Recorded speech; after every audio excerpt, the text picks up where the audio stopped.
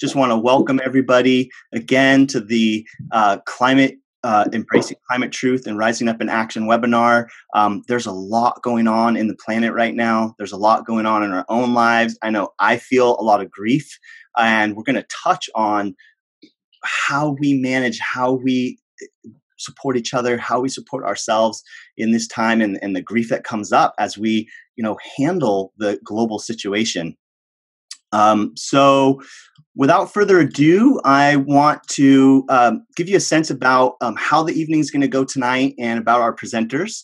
Uh, so, we are going to spend about an hour talking about climate science, about climate tr- uh, silence, excuse me, about climate truth, um, about um, how to how to handle the news and and what does it mean. Um, then we're going to spend some time you know really addressing the climate the grief side of things. And I, I, know like for myself like sometimes i feel a little paralyzed um, about what I can do because the issue seems so big. Um, but we but we're all so tied into what's happening right now. Um, and so, how do we handle that? Um, then we're going to get into solutions. We're going to talk about models that are taking place at local governance levels, community building models, actions that you can take, uh, and and specifically what we can do here just in the next month. There's a climate strike. There's climate events, and a lot of ways that we can engage and, and build community together together. So I'm happy to have you all on. If you're just coming on, again, let us know uh, where you're coming in from um, there in the chat. And um, I want to introduce our I want to introduce our um, our guest today. Um, so, uh, so joined with us today is Trathen Heckman. He's the executive director of Daily Acts organization. Um, he serves on the board of Transition US and the California Water Efficiency Partnership and is an advisory board member of NorCal Community Resilience Network. Trathen helps people and groups reclaim the power of their actions uh, to regenerate self, nature, and community. Uh, he lives in the Petaluma River watershed where he grows food, medicine, and wonder while working to compost apathy and lack. And Trathen is a, a, a longtime friend of mine. I'm Erik Ohlsen. I'm the director of the Permaculture Skills Center. Uh, Trathen has been a huge inspiration to myself and thousands of other people uh, to uh, on how we can really take action on a multitude of different levels. We are so blessed to have him here today, um, and we also have Nichole Warwick with us. She's also works with Daily Acts. She's a mother, a psychologist, and an educator who's building on her diverse background to create a healthy and sustainable schools in Sonoma County. She works collaboratively with Dave, Daily Acts and the Jonas Fund as the environmental health innovator researching the impacts of environmental toxins on children's health, and collaborating with experts in the field to support healthier and more sustainable schools in Sonoma County. So we are uh, so grateful to have you both on, um, and uh, welcome Trathen and uh, and Nichole. Thank you. Yeah, thank you, Erik. Great to be with you both. So, um, so Trathen, uh, why don't you uh, help us contextualize the, the, the situation that we find ourselves in?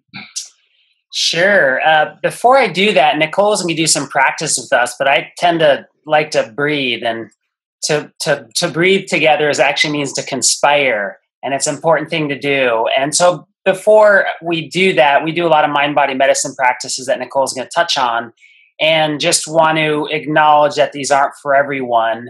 And so, if you just want to take a moment of silence, or if you do want to do a brief meditation, you could close or lower your eyes, do whatever works best for you.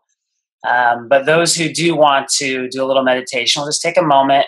And you could close or lower your eyes. Put your feet flat on the ground, assuming you're not driving a vehicle or something, you know, that you're in a safe and stable place. And just land for a second and just check in with your body. And just take a nice few slow breaths in through your nose and let your body gently relax.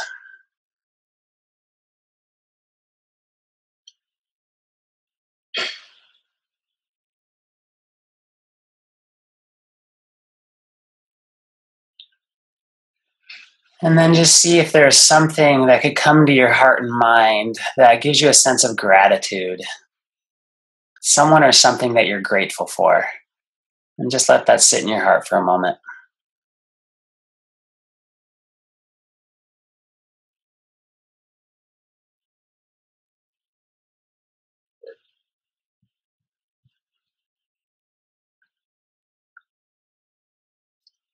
Then go ahead and open your eyes or raise them and give a little shake. Always good to get present in our body. And I want to steal any of Nichole's thunder on the piece that's coming up, but it always helps me to kind of pause and breathe and ground, especially since there is just a ton going on in our world and life. It's the, the days are kind of astounding me. Um, so anyways so for the flow overall like erik touched on this is kind of a really big urgent and for many people an absolutely overwhelming topic topic and one that we're not actually talking a lot about and unless we start talking about it regardless of whether we're an expert or we're just an everyday person or a parent um, one of the core things we need to do is start getting educated and start talking with other people that's really important and so you know, I'm not a climate scientist. I'm not even a climate expert. I do have almost two decades experience running nonprofits and being an educator um, and doing permaculture and things like that. But I also want to say that we shouldn't have to be experts. There's plenty of expertise out there now. The case is really clear. So I'm not going to drop too much into the science. Maybe just bring a few pieces of framing that people may know or they may have not heard yet in climate regard. Um, and then we're going to um, Nichole's going to work with us a bit on because one thing, like I haven't done a lot of grief work personally. I've always appreciated, but getting the reality of our reality, I've woken up for a while. We do a lot of mind body medicine practice, but the recognition that we really need to um, be able to work effectively with what we're experiencing and fully have the experience so we can let it in and change us in a way that have the best impact um, and then from there, we're going to dive in, you know, talk a little bit about some of the things going on globally and nationally, and then just share some of what's emerging really rapidly in Sonoma County. Um, a lot of different exciting things emerging. And so just have a reference for that. Um, and then share some ways that you all could take action, whether you're in Sonoma County or wherever you are. So that's the overall flow of things. And three things we're going to kind of touch on in this too are really like three key issues I'm looking at are silence, despair, and denial. A Yale study recently reported that about 70% of people in the US care about climate change, but only 30% of us are talking about it. And those numbers are even going up rapidly. I know I saw a study recently that said in the UK it's around 85% of people are really concerned. Things are shifting very quickly. Um, whether you're feeling it or seeing it, Kaiser's writing about it, it's everywhere. Climate and eco despair and anxiety are just skyrocketing. It's a major issue. And there's this both overt and a stealth form of denial that I myself has pra- have practiced, even doing climate work, where um, you know, we'll we'll acknowledge, we'll we'll have a conversation, we'll sigh and acknowledge, and then we go back to business as usual. We go back to planning the vacation we are planning, eating the meal we're going to eat, and doing the things we're going to do. And this is from everyday people to high level leaders that I speak with. Um, and so those are a few things that I hope we can address. And one of the frames, you know, Daily Acts, we're an educational nonprofit, and we've been really focused since our beginning on helping people be the change um, you know, to really create more healthy and just resilient communities and teaching people the basics of how do you grow food, how do you use your rainwater, how do you use your gray water, everything from these home scale solutions to partnering with cities and agencies and businesses and doing wide scale mobilizations. Um, done a lot of landscape transformations with Erik, installing public food forests and things like that. Um, and so we, you know, oftentimes for 18 years, we kind of been maybe waving the oh shit bell like 10% and then but focused on solutions, focused on the power solutions, because that's where our juice is and that's how we be the change. And in the last year or so of really dropping in deeply just to the brutal reality of where we're at and the hurt of it, of recognizing, you know, we may need to change how we're communicating about these things. And a key reference for me in this is a woman named Margaret Klein Salamon, and she founded the Climate Mobilization Movement, an organization that has helped launch a movement.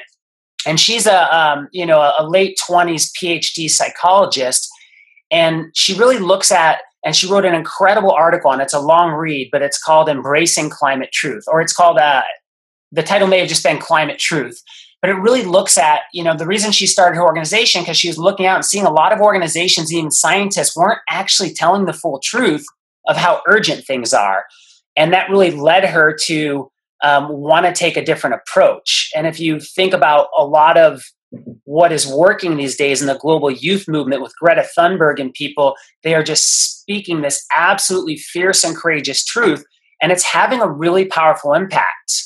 Uh, and so, in this regard, I'm just going to, you know, quote a few words from Margaret on the transformative power of climate truth. She says only a truth focused strategy holds the potential for societal transformation on the massive scale that is necessary to protect humanity in the natural world. Um, and it's really looking at a you know a 10 year mobilization plan to get to zero carbon while practicing drawdown and sequestration and deep adaptation as well. It's really a lot of people use the framing that i'm sure some of you have heard around sort of like a world war ii mobilization where our country just turned on a dime and went into war mode. We need the version of that for health safety and peace. Um, and so that's a little bit of you know the frame. Not going to spend a lot of time on the state of the science in that. But like I said, there's a couple things that I, I do want to point out in that regard. And so, just in Sonoma County, where we live, in the last six ish years, we've had record floods, record droughts, and record fires. Um, and then, as many people know, two years ago when we had our, our record fires, they were just absolutely devastating. Um, a positive side is the community came together in a way I've never seen people come together. And then right after that, there were more record fires in Santa Rosa and then record mudslides. And then the next fall, this last year, it was the campfires. And then we get the Intergovernmental Panel on Climate Change report, which is basically, um, and scientists don't usually use really extreme language, but using words like civilization collapse and that we have to keep um, under 1.5 degrees Celsius, basically reducing emissions to around 45% in the next decade. Um, and so you think, uh, wow, that's really extreme and big by itself. But that means actually peaking emissions right now. So we have to be making major leaps immediately. That's not like, oh, we have a few years or a decade to work it out. Uh, and they just released another report on land based issues. And so, you know, the Amazon's on fire and we have record ice melt. And I think we all see it in the news, just this overwhelming news that is just increasingly coming in every day. Every month seems like a new temperature record. Uh, and so things have been escalating for a while. And in the last couple of years, with the records of hurricanes, fires, floods, droughts, um, you know, we're getting a really big wake up call from our earth that is just pretty much in the news every single day, just about.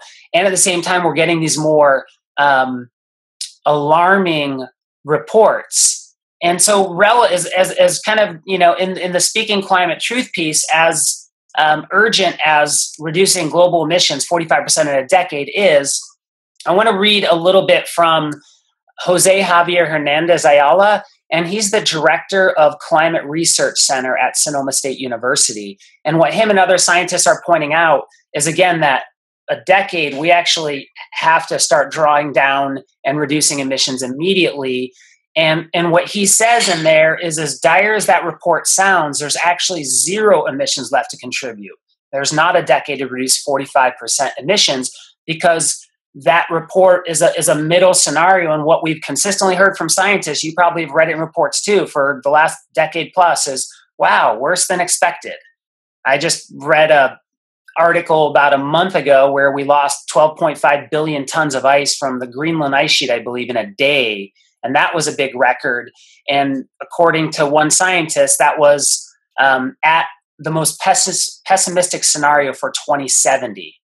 So things like that ice melt, uh, according to Dr. Jose Javier Hernandez, aren't actually factored into the IPCC reports, the Intergovernmental Panel Climate, Climate Change reports. So there's um, it's actually a you know a much more severe scenario than is even painted and seemed pretty extreme. And you know as bill you know i'm going to quote bill mckibben and greta thunberg two incredible climate movement heroes. And similarly you know when i read this in an interview that mckibben did a while back i was sort of even taken aback because it takes a while to break through the layers of denial and to really embrace reality. And he said we're not playing for stopping climate change we're playing for maybe being able to slow it down to the point where it doesn't make civilization impossible. It's a big statement. If you've read his new book, Falter, really important medicine. I recommend reading it. Really difficult to read because there's just it's it's a lot 200 pages of harsh realities they're helping build a global movement, which is amazing. I want to hear more about that in his books, but you know, I appreciate that he's telling the harsh truth. And then if you think about, so you know, a year ago this month, a 15 year old girl started cutting school on Fridays and went and stood in front of her parliament building to demand climate action, holding up a sign. And what's astounding about this, I'm only going to just touch on this briefly, and then we're going to pass it off to Nichole. Um, is that this spawned a global movement within months over a, um, 1.6 million youth in 120 countries started doing climate strikes. And we'll talk about more climate strikes coming up. And i just want to cite something that she said in um, in one of her presentations to um, you know high level politicians. I don't want you to be hopeful. I want you to panic. I want you to feel the fear fear i feel every day and then i want you to act. I want you to act as you would in a crisis. I want you to act as if our house is on fire because it is and so greta is someone that is speaking climate truth and it, it's piercing a lot of the denial and inaction and having a really powerful impact and so it's amazing to me. I take huge inspiration and courage from this global youth movement and what they're doing. Um, but before we talk too much about those solutions, uh, a piece that we often skip over in our facts and our reports and the fires and the floods is just like, how are we emotionally processing this? Are we understanding it? Do we have the tools to relate with this in our body so we can, you know, like they say on a plane, put your own oxygen mask on before assisting others? Um, and so I'd like to pass it off to my good friend and super inspiring coworker, Nichole, who's going to just drop us in a bit of, around climate grief and distress and some practices that we could work with. Thank you, Trathen. Thank you, Erik. Hi, everyone. Um, just for myself right now, after hearing everything that you said, um, I'm just tracking my body and I noticed that there was a change in my breathing and I'm feeling the need to just kind of quiet again and take inventory. And so I invite all of you to take a moment with me to just check in right now. How are you feeling? Take take notice of your breathing. Bringing awareness to the air as it passes through your nose.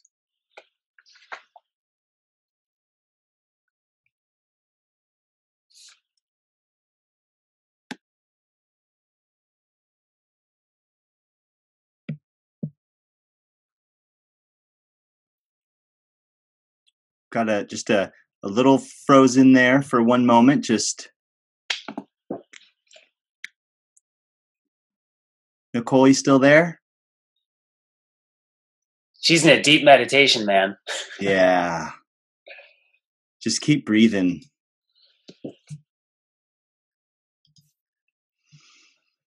Trathen, back to you for now. Sure. Yeah, until we get Nichole back of and and this is like she said for when we're taking this in when we read articles or hear people speak and if we're going to start actually speaking climate truth i i feel it myself. It's it's hard to process and actually speak this. Um, and so just being able to get present in our body and in our breath um, you know so one of the things that hopefully I won't take from Nichole coming on, but is you know we have we have two two parts of our nervous system our our sympathetic nervous system and our parasympathetic nervous system. And when we practice mind body practices that she's going to talk about, like meditation, that brings us into our parasympathetic nervous system, which gets us out of fight or flight. And if you think about like even going to the space that I was just touch on. All right, I'm back. Oh, she's back. I'm back. I was just starting to mention about the sympathetic and parasympathetic nervous system, so I will pause. uh, well, I Repetition will be good. And I don't know how much you heard, but if we're just still checking in with our bodies and just acknowledging that that's a lot to sit with.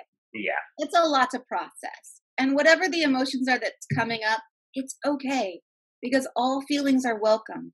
And being able to acknowledge the feelings that we're having about this with compassion for ourselves and it, it really is kind of a balm during this time. It is quite medicinal.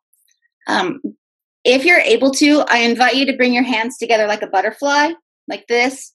Place them on your chest with your fingers right below your collarbone.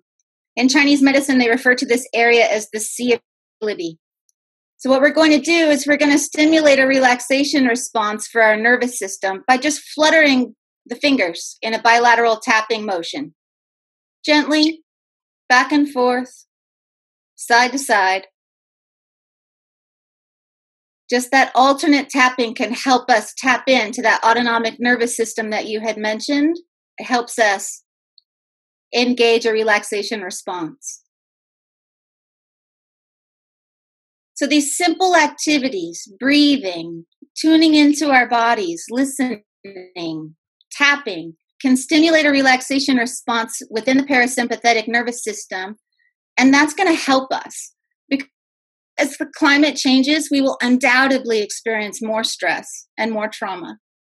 So these evidence based mind body medicine skills will help us better understand our own unique stress responses what triggers us, how we can better regulate ourselves, and how we can, can care for ourselves, and also compassionately identify stress and trauma in the people who we love and who we work with, and help provide support for them.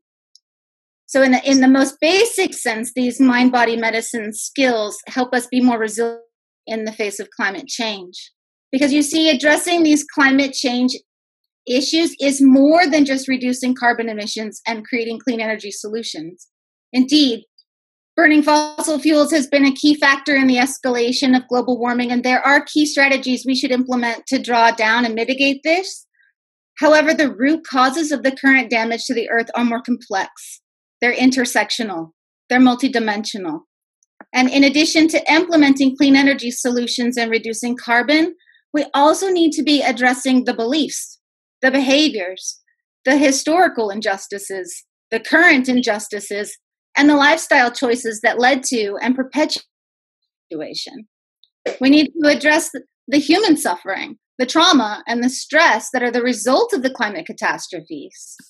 So, in essence, we really need to address climate psychology or the psychology of climate change.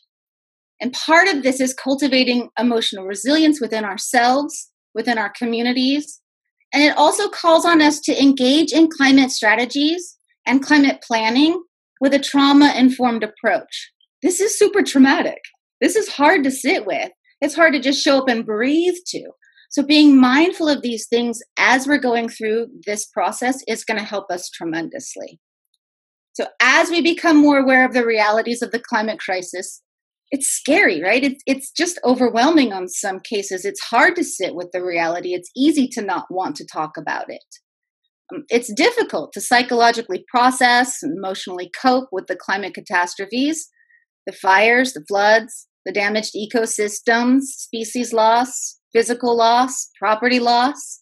I mean, in essence, we're living during this sixth great extinction of plants and animals, and yet even really fully awake to the psychological suffering that's inextricably connected to all of this loss. So, these climate crises that we're dealing with really present us with existential crises that impact our whole body. We're, we're whole beings, right? So, biologically, psychologically, socially, emotionally, spiritually, we're impacted. And we need people to wake up and become aware and step in and get engaged now more than ever Yet becoming aware is so impactful that it's difficult. It's extraordinarily stressful and can actually be anxiety producing, which is the conundrum that we're living in, right? When I think about the grief, just the grief alone is tremendous. And, and I want to point out that denial is a key protective factor of our grieving process. So when I hear people speak about climate deniers and, and there's a lot of animosity, I see it differently. I see people who are deeply grieving and aren't ready to accept the reality of what we're dealing with, and that that's a process and something that we have to show up and be gentle to. So the current bodies right now the in psychiatric and psychological communities are referring to what's going on as ecological grief there's a couple names like eco grief climate crises climate anxiety eco anxiety and although these things are not yet listed on the diagnostic and statistical manual of mental health disorders what we call the dsm-5 an article recently published by kaiser health indicates that doctors and practitioners are seeing a dramatic increase in patients self reporting climate distress. More and more people are speaking to the urgency of the climate crisis. In fact, the National Institute of Environmental Health Sciences at the National Institutes of Health speak to this urgency in a webinar that they titled The Urgent Need to Build Personal and Psychosocial Resilience for Climate Change. They indicated three necessary interrelated elements that will provide an effective response to climate disruption. And the first two, I think, are self evident. We talk about them a lot reducing emissions from fossil fuels and protecting our natural carbon sinks, preparing and adapting physical infrastructure and natural resources.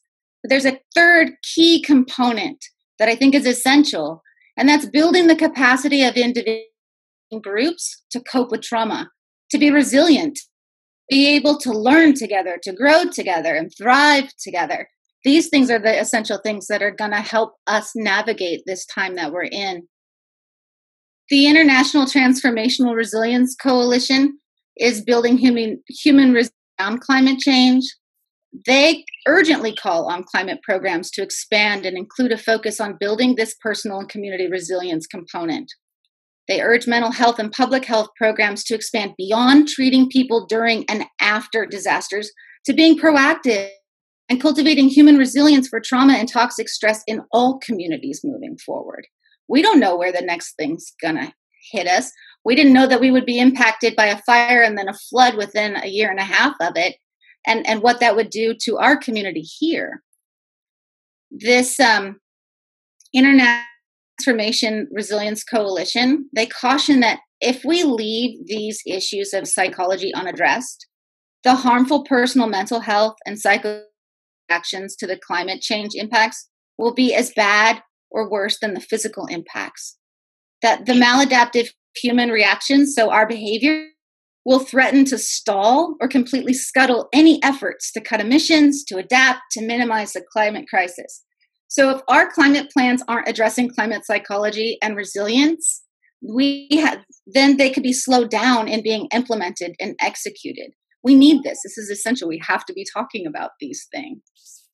Um, furthermore, they're asking for us to do this in a preventative model. So setting up communities where these things are the norm. Um, we've seen it here the climate events the 2017 wildfires, the 2019 atmospheric river that dumped a ton of water in our area, took out a tree that fell on my house. So I, I know this impact of what's going on with the climate quite personally. Um, the impacts of these things, the stressors of things, have the potential to impact us years, if not lifetimes, within our communities. And these climate events are going to continue and they're going to continue to impact us our emotions, our physical health, our social functioning, our food infrastructures, our overall well being, and the health of our community. If we don't address this, if this continues unresolved, this distress can damage our health and limit our potential for rebuilding the strong communities to be able to thrive. So it makes me wonder, you know, how do we through this climate grief with a sense of emotional resilience? There's um, a MFT, a marriage and family therapist named Leslie Davenport. She's written a book called Emotional Resiliency in the Era of Climate Change. It's a clinician's guide, um, but within it, she has great suggestions. One, she encourages us to trust our grieving processes and the natural flow of our emotions. Grieving and structures that support grieving processes are not very um, well supported in our culture currently. Like a lot of times we just don't know how to grieve. Or we will hear people say, time will heal that, or let's get back to normal. But we have a whole new normal. We don't have the same normal to go back to, right? We have to be resilient and innovate a new thing, and we have to process our grief. And we can only do that so far on our own. Like, we really need our community. We need to be sitting in circles. We need to be sharing what's coming up for us and figuring out how do we support each other moving forward. I think this, at the heart of this, is really engaging things with a sense of curiosity and and compassion for ourselves and for others and then being aware of our somatic experiences. So constantly like checking in. Okay what's coming up for me around this? Feeling what's mine? What's going on in the collective um, being aware of the body is very, very important. Bringing ourselves back to our breath, using breath as a, a key to controlling our autonomic nervous system and how we respond to things will help us even in the moment Like as you were talking, Trathen, everything you said, I know that, but I was still having that same somatic reaction to tightening and holding, and oh my gosh, it's so much. How do I do this? And I have to remind myself breathe, be here now. In this moment, I'm okay. And remind myself to center and come back to present. Because that key facet of our mindfulness is going to help us. It's going to help us shift our narrative around like, is this the great apocalypse?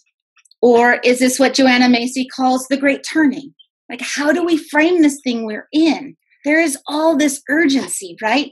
But we get to control the narrative that we create around it and how we step in. So let's say we believe it's the end of times, right? That might lead to certain more nihilistic types of behaviors where people aren't engaging and problem solving. But if we believe this is the great transition, right? Then this is a time that is ripe and full of opportunity. And it, it really makes me think about um, the word crisis. In Chinese, the word crisis is comprised of two characters one that represents danger and the other that represents opportunity. So if we've never faced a, a, more grave danger than what we're dealing now, it's true to say that we have this most amazing, fruitful opportunity that we can lean into as well. But it doesn't mean that we do it in a way that spiritually bypasses the grief or in some sort of like super pretty Pollyanna way, like everything's just going to be great. Because that's just not real, right? That's glossing over it. And what we need to do is show up to the story, reframe the way we believe about the situation, and then get creative, right? The expressive arts or any type of creative expression, music, dancing, poetry, um, the things that inspire, that bring joy back into our lives. We need these things now more than ever. And these things can be seen as medicinal in this way. Here locally in Sonoma County, we're we had, like you mentioned, the fire and the flood. But fortunately for us, we have the Sonoma Community Resilience Collaborative, which was spearheaded by Santa Rosa Community Health, and it was developed to address for community. It's an evidence-based community resilience program, and it's a model that addresses the whole person and the impacts of stress and trauma on the whole person and how to do this in a way within our community where we're building on those social determinants of health. So we know being together is going to help us reduce our feelings of isolationism. We're going to find camaraderie with people and we're going to have tighter connections. That's going to help us get through this. So this collaborative it works in partnership across the community and with the Center for Mind Body Medicine, whose curriculum is the foundation for the program. Two cohorts have already been trained here in Sonoma County. It's a train the trainer type of model. So now there are over 200 people who are facilitating workshops and groups in the community where we're teaching mind body medicine skills for resilience. This in this way, the collaborative is developing our local capacity for healing, empowering everyday people with evidence-based self-care tools for effectively addressing what's going on personally what's going on in our professions how do we build strong social connections because we know these are the predictors of community resilience and preventing the progression of stress and trauma into more serious social mental physical and social impacts. This model would be beneficially embedded within all climate action strategies so that people have these skill sets while they're doing this work. We have this great model where we can talk about what's coming up and address it. Um, it has been incredibly valuable for, for me, and Trathen and I have taken this to the team at Daily Acts, where we facilitated um, eight eight group sessions with the team where we went through and talked and explored uh, these concepts around medicine. So these have been really helpful for me in managing my stress around this, like like critical. Can I say that? Because we all have our own stress response to what's going on, and um, everybody's unique in how they deal with their stress. And for me, I went into kind of go mode, like that sense of urgency that we talk about in the world. Yeah, I was working like 10, 12 hours a day. Let's do this. We've got to step in. And I wasn't taking care of myself in the way that I needed to. And these mind body medicine skills helped me better take care of myself. Like what you referenced, put the oxygen mask on yourself first on the airplane, right? So that I could take care of I can slow down to better help hold space for what's going on in the community. So that I think is a really beneficial thing. I'd also kind of like to plug, since I have the floor, that in addition to cultivating this community resilience, climate action strategies would greatly benefit from implementing a trauma informed approach. This would enable community leaders to, to recognize the signs and the symptoms of direct and indirect trauma for themselves, their families, their peers, the community at large. And a trauma informed approach would respond by fully integrating knowledge about trauma into the policies, the procedures, and the practices, and would do so in a way that actively reduces re traumatization. That's really, really important because these impacts of the climate crises are complex. They're intersectional, they're multidimensional, and in response, our climate action strategies need to be holistic, equitable, inclusive, and trauma informed. We really do need to understand the dynamics of, of climate psychology, the impacts of eco- ecological grief, and then help to create and co create systems that cultivate our resilience. Um, thank you. Nice. Thank you, Nichole. You're welcome. Wow. I, I want to just say um, something that's come up for me a bit um, just especially in the last couple years. Okay so here's a situation that i think a lot of folks might actually be in. Uh, so the situation is urgent. We need to make lifestyle changes. We need to rise up in our communities. Um, there's a whole bunch of actions we can take which we're going to talk about here in a minute. And in a lot of in a lot of ways there's social movements that need to be built and grown and people getting in the streets and transforming our society as a whole now one of the challenges that i personally face is that i have a, a, a nervous system disorder um, that ha- has really become an obstacle for me to be able to go out there and get out in their community, get out in the streets, go to meetings, participate in a bunch of community actions. And part of the part of what comes up for me with that is you know a, a, feeling of failure right? Like it's so urgent but i can't go do those things. I physically just can't do it because i'm and and i think that one way that we're isolating people that people are feeling isolated and it ties right into the grief is like the the the scenario is so huge and what we're calling for for urgent action is often pushes people to their edges. And there's a lot of folks that just can't take the time or they don't have the physical ability to get out there. And and i think that this is something that we have to address because if we want to if we, if we want to grow and evolve as a society that can honor nature and honor each other and make the lifestyle and community choices that align with the ecological constraints and regenerative needs of our communities um, we've got to do it in a way that everyone can be involved and it's not only the youth who have the energy and it's not only the people who have the physical capabilities. And so i really love just what you've brought to the table to because i feel like there's people like myself that um, like i'm embarrassed you know to say that i can't go do this or that because of my physical obstacle.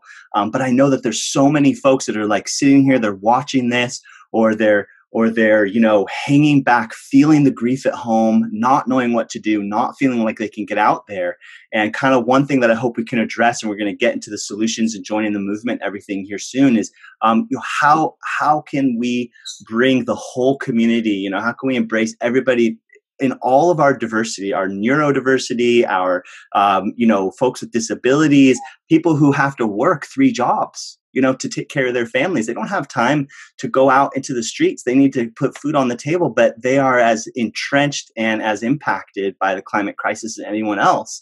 Um, and so I feel like these are some of the issues that I just like want to ask the community, um, ask of all of us to consider um, how we bring a wider spectrum of our of our community along how do we message the work in such a way that folks can find different ways to plug in different avenues different angles um, where we can feel like we're a part of making an impact even though some of us may have some real obstacles and that's kind of for both of you to take on and chew on and for us to um, to chew on as we go through the rest of the webinar here i I think the biggest thing that came up when Erik, you and I talked about that the other day is I was so grateful that you were willing to be courageous enough to share about that. Because otherwise, you know, that's a part of speaking the climate truth as well of what is your healthy stretch versus like, hey, I actually can't do this or I can't do this. Like, okay, sweet. How do we make this work for everyone? Like you're saying. And the only way we find out is if people are sharing. Um, you know, on the mind body medicine front that Nichole's leading on, I, I, personally have practices for close to last 20 years that I've been focused on to be able to sustain in the work. And I'm my practices are getting tested heavily, even more so than in the fires in a lot of ways in the last six months to a year. Um, and then, like Nichole said, we've been practicing these things organizationally for quite a while but then we recently went through the mind body medicine training and are actually on the steering committee for the community resilience collaborative and so sitting in circle with our staff every other week for four months essentially was incredibly helpful um, and we we do this in other coalitions and spaces which to the point of speaking the courageous truth i literally just had a conversation today with an amazing activist who informed me that at one point in holding a circle, we didn't do a sufficient check in to make sure it was trauma informed. And it was really difficult for that person to participate. And so I was super thankful that they actually shared that because that's the only way things happen and get better. Um, there's an edge sometimes on bringing these practices in. And like Nichole said, how do we make sure we're doing it in a trauma informed way? So I think the biggest thing of like, they're speaking climate truth, but hearing your own truth what are your struggles what are your needs and speaking that as we're called to step forward so we can figure out to make sure that we make the movement inspiring and bold and create enough for everybody to fit yeah and uh, you know one other thing i just wanted to add is that we also have a massive global refugee crisis and i have um, uh, people that are close to me that are trying to get back, eh, trying to get across the border, across the U.S. Mexico border, um, and where the realities of that are devastating. And so I think like part of what we're talking about too is is also like how do we hold space for folks that are coming through really traumatized and folks who are in the streets um, you know, activating on a civil disobedience level, that's another way that folks could get traumatized and burn out. So, yeah, holding space on all these different levels, these tools about how we build and support community and, and create space to talk about it, you know, first and foremost. Um, it's this is a this is like a mature level now of how, where we need to go with the with all movements um, in a way where we can really handle uh, what's coming down right now. I was, and here Nichole is to China, but just literally last night I was I was with a friend who's the new sustainability coordinator for the town of Windsor, and he's bringing the emergency resolution forward for the town. And I was talking, I'm like, Paul, we need to make sure that it's not just just like Nichole was saying, it's not just the energy retrofits and the drawdown, the sequestration, that we have these mind body medicine practices because as people are waking up, we have to help them make sense and stay sane and whole and be effective. So I, we do we do need it in the plans. And I didn't know if you had any anything in comment to Erik's comments, Nichole, before I move to the next section. Well, I think what came up for me around what you said, Erik, was the need for self care and to just honor where we're at because we all go through fluxes and, and changes within our abilities. Some people have um, different we're, we're all differently abled in that way and so the most important thing that we can do is know our capacity what we can and can't do where our strengths are how do we support our strengths where do we need extra support those things are so valuable and i'm just reminded of how impactful it is to to just show up to embrace the grief I think about something Carl Jung said um, embrace your grief, for there your soul will grow. And we're in times where, like you said, we're growing existentially, tremendously at this point in time.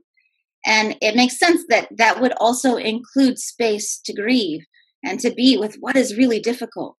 It is really difficult to know that there are children and people being detained as they're trying to come across here. And some of these are climate refugees who are seeking help.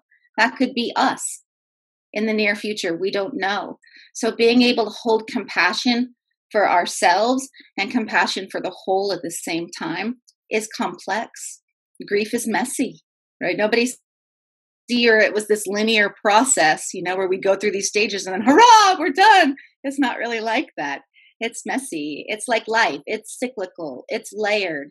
It it spirals, right? And we we keep showing up and we keep moving to it with heart, with curiosity, with love. I just have to say too, you know, my heart has broken a lot in the last 18 or more years since before I started Daily Acts and that whole Joanna Macy lens of the, the heart that breaks open many times is big enough to contain the whole universe.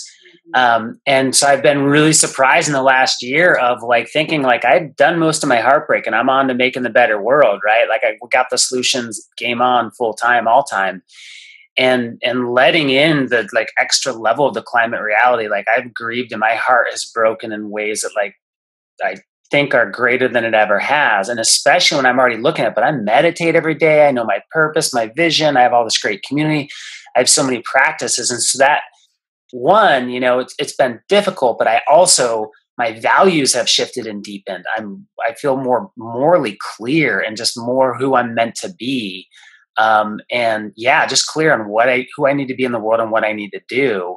Um, and it also again makes me even value more the work that you and others do, Nichole. Of because like God, if I've been struggling with it this much, and I have all these great practices, and we're doing this work and this incredible community around me, and that, and it's still this hard. Like we really have to bring this piece in. Um, and you know just you'd mentioned differently abled i just want to briefly come back as we switch into so what are some of these different solutions going on you know that again a year ago this month a 15 year old girl started cutting class and launched this global movement. And you know we often think of things like autism as a disability. And yet you know in articles i've read greta sources her autism being on the spectrum as the source of her power not something she overcame like it's the source of her power and her fierceness. And so i just think it's so amazing that the voice and face of power um, as far as i know and she's been nominated for a nobel peace prize now is a young woman with a quote unquote disability. And she's just like she's just this face of the global movement. She's on rock star albums and stuff now. And she doesn't even care about it but you know it's just uh, flipping the script on those sort of things of like youth female um, being on the spectrum like immense immense power power power power. And so um, I, I, look forward to more of that people bringing forward the things that they may feel uncomfortable with or feel like are, are not their gifts are their their challenges. Um, that that becomes our courage and our power to speak from and the source of our strength you know? Um, so in that regard just to touch back to you know so you could go onto the website erik had it up early of fridaysforfuture.org they're helping organize these global youth strikes and you can see greta right there on the cover um, you know 350.org is doing an amazing job the last decade plus uh, inspiring a global movement to stop fossil fuels. They're involved in the strikes. In the US, part of the, that's Greta right there, in the US, part of the Sunrise movement um, has been another youth movement that's pushing hard on the Green New Deal and, and partnering with another unexpected, amazing new source of power, a bartender, young woman of color that suddenly is in Congress and raising positive hell, Alexandria Ocasio Cortez um, you know, moving the Green New Deal forward. So there's a lot of excite, exciting work happening at the national scale and really pushing the Democratic National Committee and the Democratic Party to take a stronger approach on bold climate leadership. Bernie Sanders just introduced a $16 trillion um, climate plan. And so a lot of this has come from grassroots push. This didn't just happen on its own. It's this global youth movement that is has everything to lose and nothing to lose and is just speaking fiercely and courageously. And I think they can inspire and empower us all further. They definitely have for me. Um, the Sunrise Movement, which is a new in the last couple of years organization. I mentioned um, the this global climate emergency resolution movement, and that you know uh, last early last year, the climate mobilization movement had a few um, what you know a big part of their push is to get municipalities to declare a climate emergency, to pass a resolution. And that's a first step to shift the paradigm, saying we need to go into emergency mobilization mode to rapidly um, draw down and reduce emissions. But a second piece is then we need to put the policies and plans in place to do that. And then after that, we need to start getting implemented. But really, all those things need to happen at the same time. So that's their push. And they went from early last year uh, just a few climate emergency resolutions around the planet. And then I think this spring, when we started an effort that I'm going to tell you about in a second, they had maybe 400. And now they're at 970 climate emergency resolutions in 18 countries. Whole countries have done this. The city of London, I believe, has pledged net zero by 2030. Um, it's just blowing up around the planet and it's really shifting that lens. It's speaking that bold climate truth and saying we need to mobilize on this sooner. And so, inspired by a lot of this work and just feeling the urgency, um, you know, even ratcheting up, which is tricky, you know, like what Erik and Nichole were saying, because we've been doing grassroots organizing. This is our 18th year at Daily Acts. We've ran over 1,300 programs, been through fires, floods, droughts, big mobilizations. And so, sustaining in that work, and just like after the fires, when there was this pulse and there was so much devastation, but then there was this unleashed power of community, and we helped launch a number of different new coalitions um, and it feels to me we're really in one of those pulses where everything is getting shaken up and it's getting shaken up rapidly and it needs to. And I definitely couldn't sustain at this pace and definitely, and I'm trying to double down on my own practices. But I'm also really recognizing we're in a movement moment and we need to feed this because we have to, you know, to, what we need to do in the next decade, we have to start making the fundamental shift right now and so out of that, um, some local community members, one of our volunteers, Annie Stewart, amazing volunteer at Daily Acts, and she helped start 350 Petaluma, working on climate stuff. And she approached me early in the year and she's like, Trathen, we're, you know, we're wanting to pass a climate emergency resolution. Here's the background. Here's the things going on. Would you, you know, want to be involved? Do you have any thoughts or advice? And I met with her and started thinking about it and started looking and, you know, we had been ratcheting up our, our interest. We've been talking to our regional climate protection authority about launching a program with them, which became the Sonoma Climate Challenge, which we're involved in.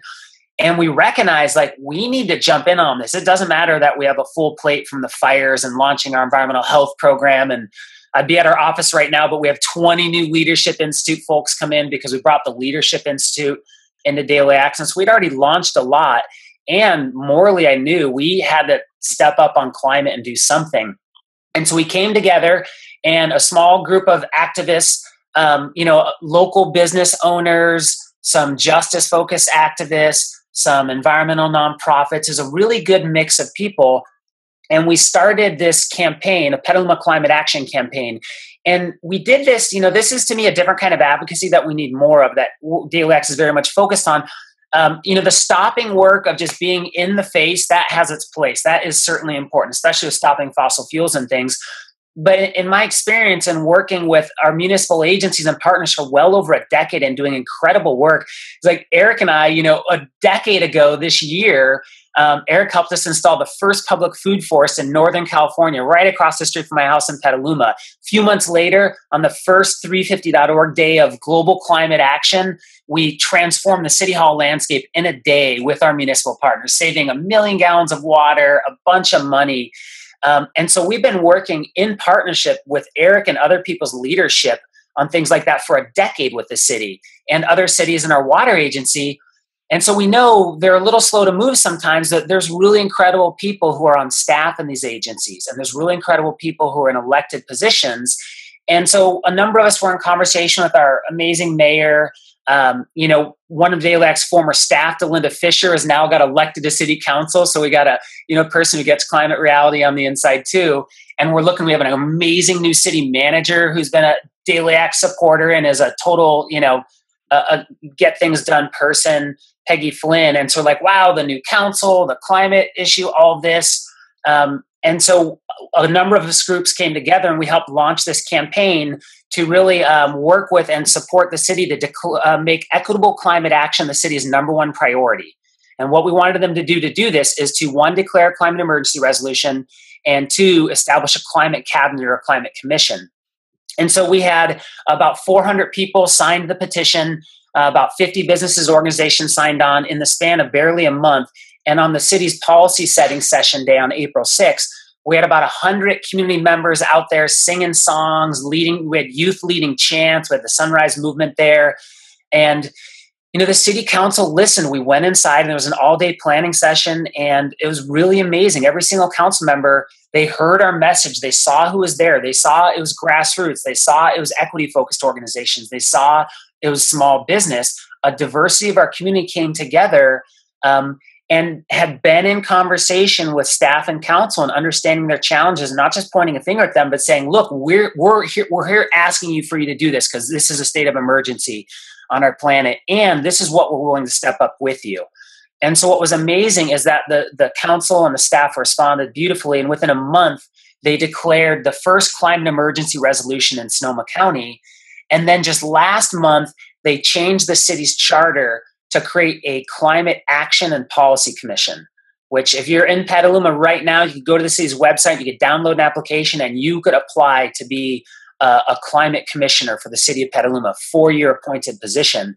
And, you know, so we did the big rally, but then we got to be right there. So we were, we've been right there each step of the way. Um, the campaign then became Climate Action Petaluma, and we've been meeting every two weeks. And our diversity is also a challenge too at times. It's difficult growing organizations and coalitions and movements. It is it is important and righteous work, and it, you know it, it's messy. So it's good to be doing our meditation practice and checking our own egos and then just figuring out how to communicate communicate well together. But it's been an amazing initiative.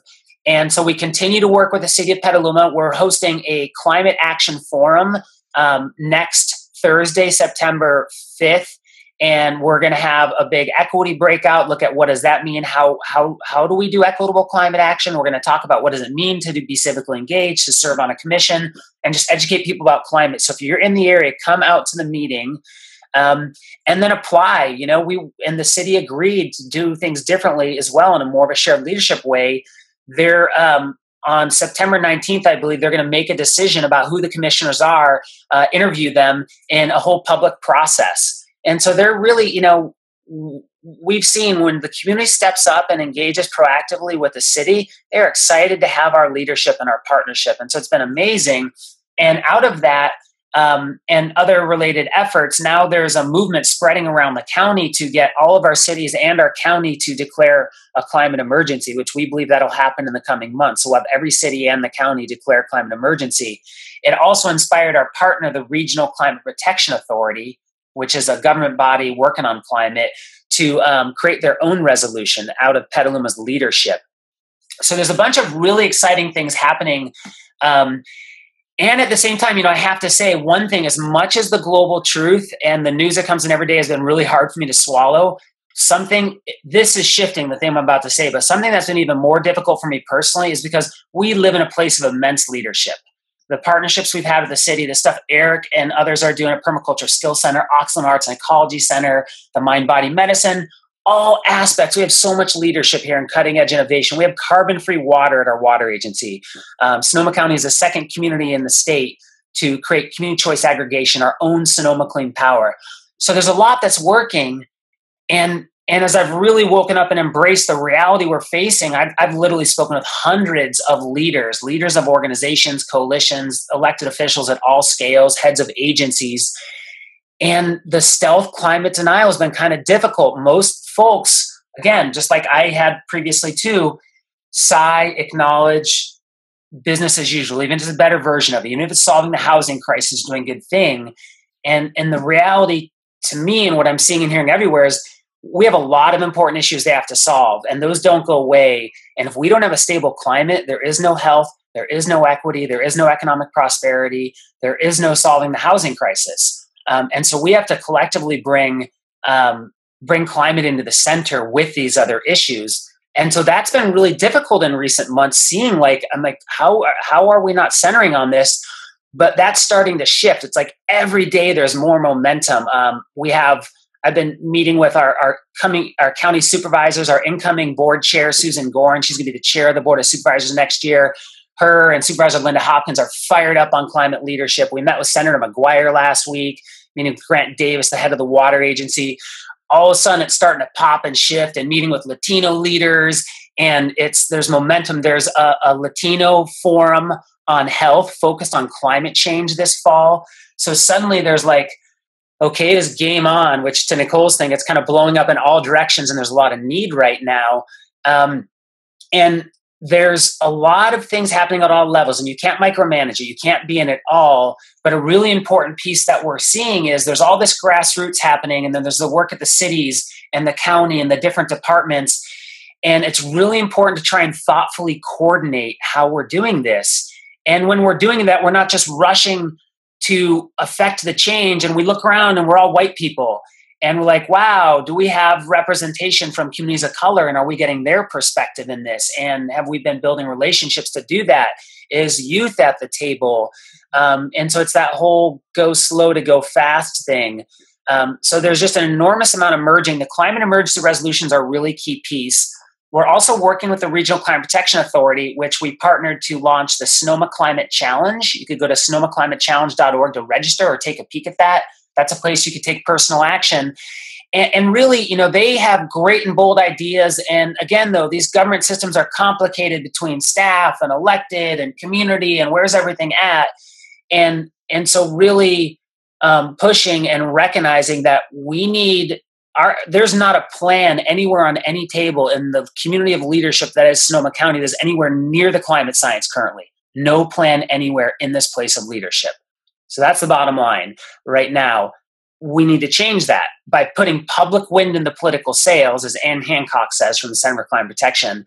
Um, building public and political will, in my mind, is the number one thing we need to do. Bernie Sanders said, he's like, you could have all the plans you want, and unless people are in the streets or doing their version of that, if they can't be in the streets, then nothing's going to change. Um, Naomi Klein, 400 pages of her climate book, This Changes Everything. One of the most core insights build public and political will. So we need to build the will, like that's what we did in Petaluma. But then we need to be right there saying, oh, okay, what's next? All right, citizen led climate body. Let's recruit all of our climate experts. Let's get Torri Estrada from the Carbon Cycle Institute, who's like a carbon cycle sequestering Jedi in Petaluma. Um, people like Erik, when the commission happens in Sebastopol, and working with the city and saying, hey, Peggy, you know, head of parks, can we do the first city scale carbon sequestration plan in the country? Yeah, they're interested. Like, awesome, let's pull our people together.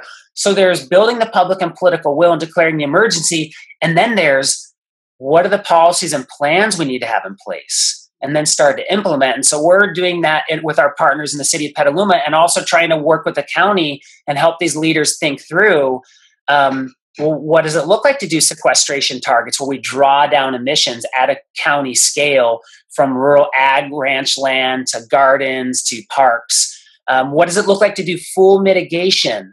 One brief thing I want to touch on is that most climate action plans in the country by municipalities they only cover a portion of the emissions reduction. Uh, they don't talk about consumption based emissions.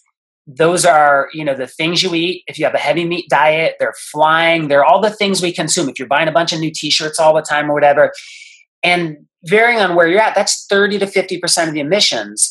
And so a lot of our plans have really good stuff but if we're missing 30 to 50% of the dashboard um, and the thing is you know the planet the physics of the planet doesn't care about what's politically comfortable or safe to talk about so that's a piece that we're encouraging that we have a holistic plan that is full mitigation of our emissions, we need to do sequestration, rapidly draw down, put carbon in the soil. Victory garden movement, right? 42% of our food is grown in victory gardens of World War II.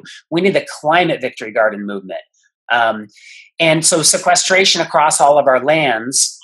And then we need some deep adaptation. So those are a few of the, and I'll pause for a moment because I get fired up on this stuff. But those are a few of the pieces that are moving um, and just trying to you know get resolutions moved forward. And we have a big public petition that you could sign. We're trying to get people and organizations to sign on to help build that public will. And then understand the challenges of understaffed agencies. I talked to my friend last night who's the new sustainability coordinator.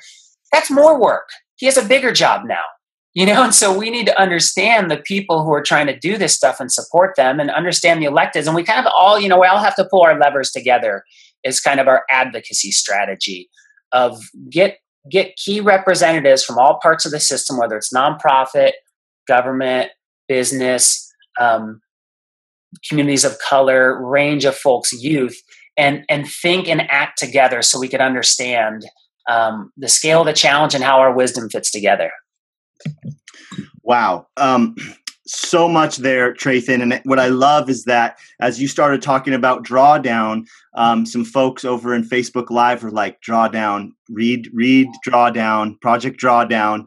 And it's like, oh, and you're you're echoing that over here. Um, I think that uh, now everyone who's listening, if you have questions or comments, now would be a great time to get them in. You can ask Trathen, you can ask Nichole, you can ask myself. Um, we're here talking about embracing climate truth. We're here talking about rising for climate action.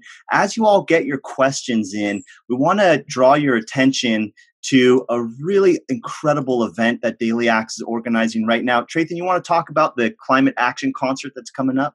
Yeah, sure. Um, so next on Sunday, September 8th in Rohnert Park, we're having Daily Acts Matter Rise Up for Climate Action. And we're going to have a thousand or more people there. We're going to have incredible bands. Rupa April Fishes is headlining. She's they're amazing musicians, but they're also really incredible social justice activists. She's also speaking as well. Um, we're going to have Dusty Greenbone bands, the Real Sarahs, the Highway Poets, Coffis Brothers, some great music. At the same time, we're going to have Brock Dolman, world renowned ecologist, speaking. We're going to have a trash and show, fashion show. Um, there's going to be County Supervisor Linda Hopkins is going to speak, and she's going to share some exciting initiatives at the county scale, as well as an important call to action. She's a phenomenal speaker, and to see people in positions of power who fiercely get this and are wanting to step up. Um, we're going to have speakers from the Sunrise Movement Edward Willie, amazing local indigenous permaculturist, is going to open things up for us, friend of mine and Erik's. And so there's all this happening on the stages. At the same time, we're going to have a climate action hub where you're going to be able to sign on to the climate emergency resolutions that pass them. You're going to be able to find out about the Sonoma Climate Challenge. You're going to be able to find out about state legislation. You're going to be able to drive an electric vehicle or check that out if you want to. Um, a bunch of stuff happening there. And then, Nichole, I don't know if you want to touch on the healing hub that we're going to have as well. Sure. We're going to have a healing arts space. Um, and in that space, we'll have Melissa Barnett is going to facilitate some yoga for trauma or have a, a place where people can drop in if they're having traumatic experience around what they're learning and the space. We're also going to have Era of Care, which is with Julia Bostrova, and she will be holding space for people to be talking about the spiritual implications. She's an ordained minister. She helps hold space and has been doing so um, on a lot of different fronts throughout the nation. And then we're also going to have uh, licensed marriage and family therapist Shannon Rogue hold a climate grief activity for people and provide resources for those who might be interested in looking at some professional support around their their eco grief and climate trauma and she would have resources available for people there. Yeah that and art. Lots and lots of creative expression. Because ultimately when it comes down to it and i, I keep kind of threading back to one of the questions you asked earlier erik what can i do? What can i do if i'm able to step out? And i believe truly deeply believe that the answers that we're seeking right now are not outside of ourselves. They're within us. And it's our task to quiet our minds enough to listen to that inner wisdom and to animate it, to activate it, to create it. And that that happens when we tap into our creative capacity. So when we're engaging creatively, when we're innovating, when we're giving ourselves that permission to be our most authentic selves, I think that's when we're going to see the solutions that we so desperately need being animated in the world. And so, for everybody on this call, and spread the word to your friends as well. Invite people. This is, you know, there's all the. It's it's about how we layer together these movement moments, right? Like we rallied a lot of people and we worked with our city, and that was a moment. And now we're they're doing the climate commission. We're doing a big forum, and we're going to get a lot of people to engage, and that's a moment. Um, the concert is a really big moment a few days after that, there's a big board of supervisors meeting um, that is happening where their emergency resolution is going to be passed, hopefully. That's a big moment. I'll touch on in a minute. The climate strikes on the 20th. And so it's about showing up for and having these things start to build momentum until we create a cultural tipping point, and this just becomes the game on societal project that we're all engaged in. Um, and so to support that, we're going you could go to anybody here and you know spread the word to your friends about getting tickets. Our goal is to sell 500 tickets by tomorrow. We have about 100 tickets to sell, and then a thousand by next Friday, um, and then moving into the concert. And so anybody who buys tickets off of this webinar, you could go to our website dailyacts.org and you type in the code daily actor lowercase D A I L Y A C T O R, and that will give you a $10 discount, whether it's on an adult ticket or a young person ticket, and kids 12 and under are free. So, um, love to see you there. Um, love to have you spread the word as well. Yeah, I'm uh, I'm putting the links to get tickets into the chats, both here on the Zoom webinar and in the Facebook Live. So there's a link right there if you guys if y'all want to sign up. Now I know that we have a more a, a more national and potentially international audience here. So if you're not in Northern California, you can't make it. No worries because the, the this is a model for how we can bring together both uh, stepping up together for action, inspiring each other, holding space for the grief that we feel, and finding different ways for just us to to to you know to work together and find solutions. And so having these kinds of events where where a fam you know family friendly um, there's music there's action there's organizing it's like there's good food there's vendors um, you know sort of like everything is here to, to meet everyone's different needs like depending on where you're at. Uh, and I, you know, and I wanted to mention just briefly, uh, Trathen was talking about some of the some of the work we've done in the past, like with the Cavanagh Center, the public food forest gardens, and such. And as and sometimes I think we we ask ourselves, uh, is it enough to to to just focus on my own lifestyles? Is it enough to build my garden? And um, and there's decisions we make every single day um, that we can make on the land for those of you that are in permaculture or gardening or have have any connection with the land um, we make decisions about how we manage our ecology.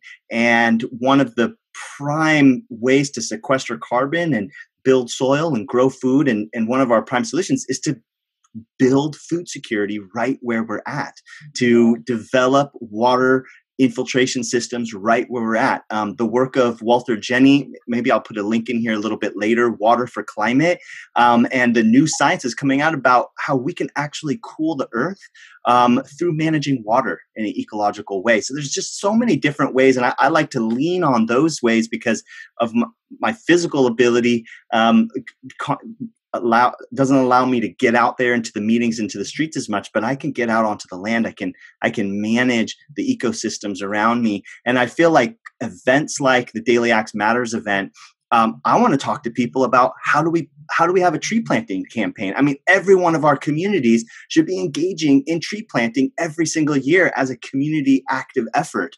Um, and this is something that I'm really turned on about. Everyone can do it. Children can do it. Elderly can do it. We can do it together in community, and it's a powerful tool um, to to adapt and mitigate to the climate crisis. So I hope to see um, those of you who can make it to this concert. I hope to see you there to talk with you, to inspire each other, to hold space for each other.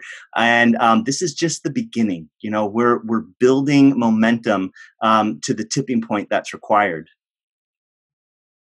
Yeah, and if you do, you know, if you're in Sonoma County, the strikes, the global climate strikes, are happening on Friday, September 20th from 12 to 2. There's a rally in Courthouse Square in Santa Rosa um, if you do, if you're not here, there's going to be um, strikes all over the planet. You could go to like 350.org or fridaysforfuture.org. Those are a couple spots you could go to.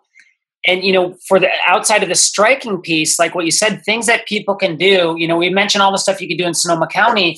But again, for everybody, wherever you are, get more educated about what's going on with the climate and what's the piece that resonates with you or breaks your heart in a certain way and talk with it about others. Talk with it with friend family and friends. Um, you know just get educated and talk every day. Ending climate silence is a really big thing. And also you know like nichole really touched on practicing self-care and and deal with our grief as we embrace these realities. And just you know gandhi said i'm so busy today i'm going to meditate twice as long. So how do we up our self-care practices uh, personal actions you could take. You know there's a lot of things you get here but some of the big ones are eating less meat um, flying less or not flying kids and driving. Those are the big four that people don't want to talk about right? Meat flying kids and driving. The one thing i will say on the meat is that a plant-based diet and drawdown is the number four solution but silvopasture and regenerative ranching are top 20 solutions as well. And we did an event recently um, i absolutely appreciate people who go vegan and vegetarian and do that in a way that is organic and supports local ag and things um, assuming you can afford to because this is also an equity issue too, an equity conversation to be mindful of. But you know, our friends at Freestone Ranch, they're ranchers, and they're the first ranch in Sonoma County to have a carbon farm plan, and they're actually carbon beneficial. The meat that they run and where they started, they didn't want to raise cattle. They wanted to regenerate the ecosystem. And as they got educated, they learned that they needed to move animals on the land to protect and regenerate the ecosystem. And, and this is deep up into Erik's territory. But so so, yes, I think we all collectively need to eat less meat.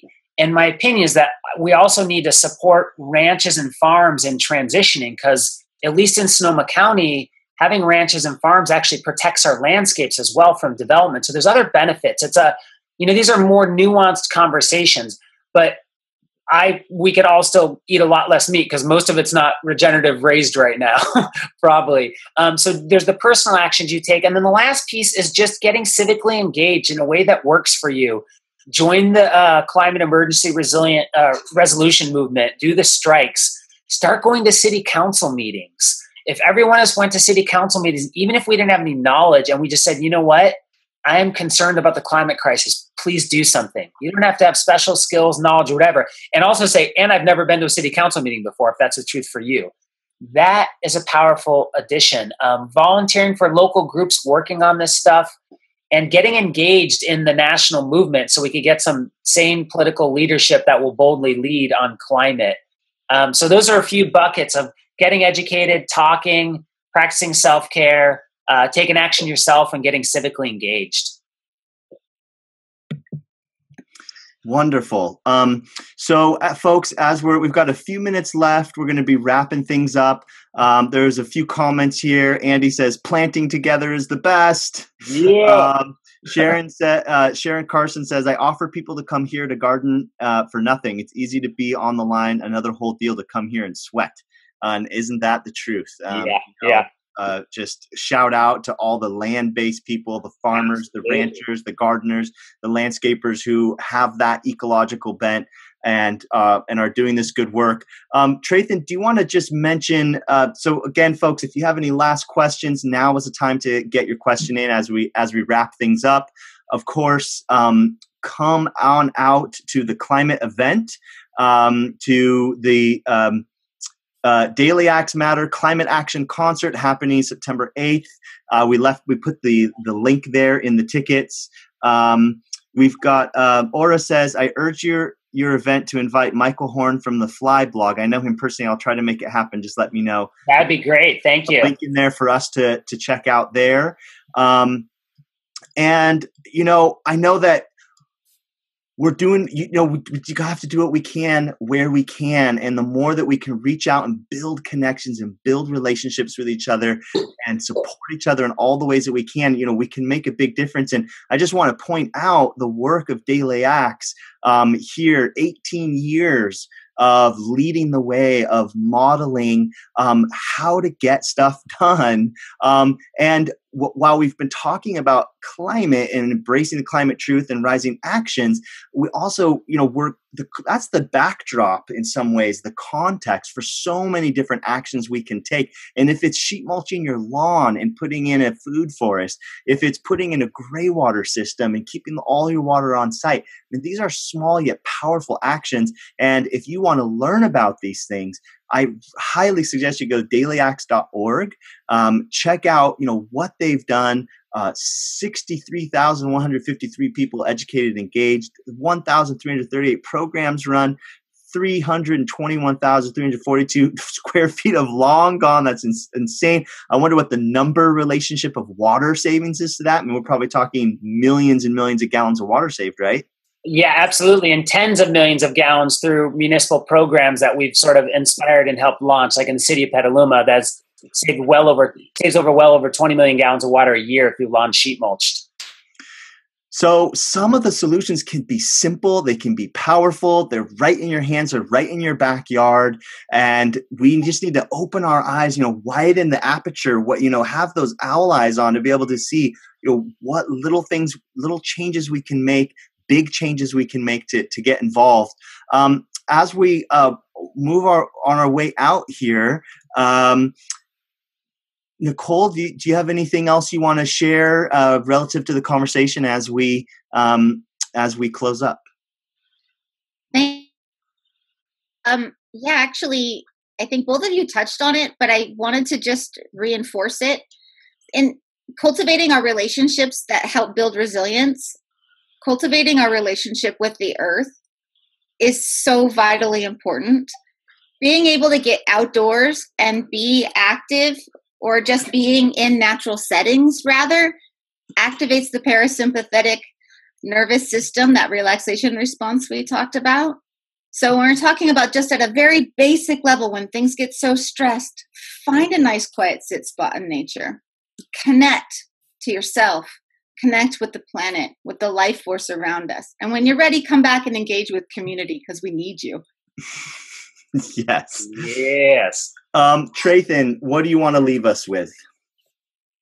Um, just gratitude, you know, for we just live in this big planetary moment and it keeps on getting bigger and the you know spending time with people like you and Nichole and Leslie Lee who's on and others looking at some of the names of just incredible people who are just taking heart and taking action and taking part every day of the week. Um, and you know some people like author Meg Wheatley famous uh, leadership author of is is more in the create islands of sanity mode. There's definitely a, a lot of people who think it's you know potentially too late. Um, but I'm seeing like such shift around me, and I wholeheartedly believe that we can and needed to do everything we can to rise up to this moment. And we have solutions like the stuff that Erik and all the permaculturists around the planet are doing. You know, yeah, I just believe in the power of community and the power of nature based solutions and the power of our collective daily actions to really rise to this moment. This, this is going to be the most transformative decade ever for humanity. And, you know, so kind of strapping into the self care practice. I spend time in my garden every day. That's what keeps me sane. So definitely the land based. Um, yeah, just power partnerships and and get get involved with us. Get involved with groups like Daily Acts or and other places. You know, stay on with Erik and just figure out how to rise to this big moment together. Beautiful. Um, thanks everyone so much for tuning in. With this has been recorded, so we'll be sharing the recording out there, um, sending that out to the list. If if you found some inspiration, you found um, some gems of actions you can take, you got inspired, you felt held in your grief, um, please share this with your community and let's get as many people into this conversation as possible. Um, and come on out if you're in Northern California. Again, come on out to the Climate Action Concert happening September 8th. Daily Action Matters. I've put the link to the buying to getting tickets. You can get um, 10% off. Is that right? 10% off? $10 off. $10 off um, a ticket if you go to the link that we've shared here. Um, so please um, come join us at the concert get get connected in your community um, gratitude to, to to be in this in this work and in this circle um, with you all. Oh and andy's at, when when will this happen again? Um, uh, oh andy you mean the uh, the webinar or the concert i wonder?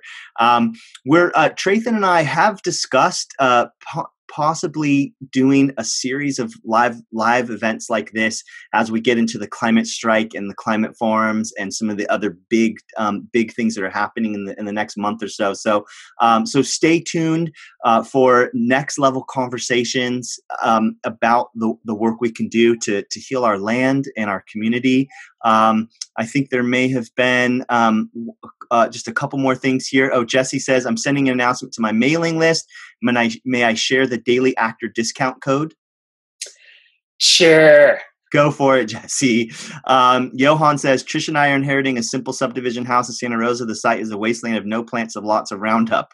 We want to transform it into a model feast garden a la permaculture and document and share how it is done. Can we ally with Daily Acts and with the Permaculture Skills Center? Of course, I mean, of course, we're always down to ally with you. Yeah, Johan's rocking it too. So, yes, absolutely. Um, there's so many wonderful folks on the call right now, both in the Zoom and on the Facebook. Like, if you're just if you're on right now and you just look at the names of folks who who've joined us, um, there's people all over the planet who are who are on the front lines of this work, um, tuning in, connect with each other, talk to each other, hold space for each other as we work through these difficult times, and um, hope to see you at the concert. Um, um, and uh, and I think that's it. We're gonna we're gonna end it here.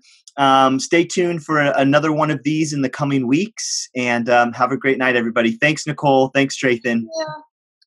Thank you, Erik. Appreciate it. Thank you, everyone. Good night. Good night.